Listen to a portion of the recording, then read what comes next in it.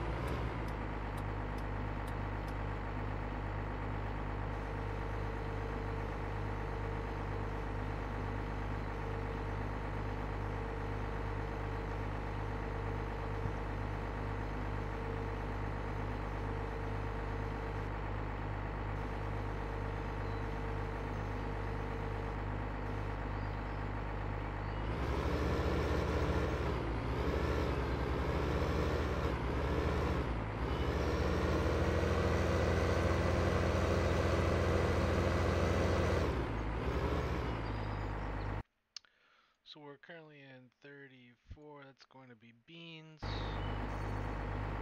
And we have soybeans, so I guess we can just go right ahead and start planting.